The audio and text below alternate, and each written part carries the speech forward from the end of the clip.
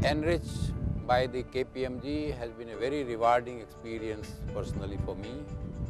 It was started in 2010 and I had the privilege of attending that first uh, conference and ever since I have attended all the four conferences including the fourth one today.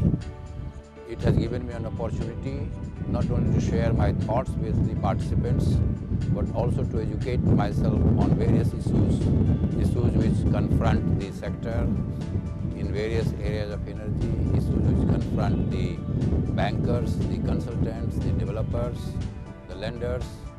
So obviously this experience has been so good that it has provided me an insight into what needs to be done and that has helped me in making my own thoughts sharper. I have been able to share my views on various policies, the challenges that lie ahead and the way forward on what should be done in various areas of energy sector.